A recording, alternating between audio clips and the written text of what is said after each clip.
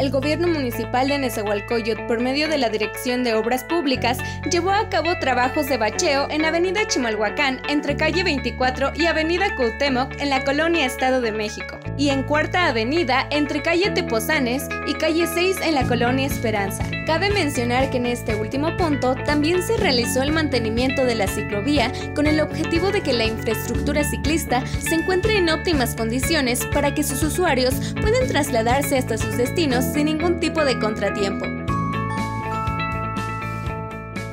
NESA, Ciudad de Todos, Gobierno Municipal.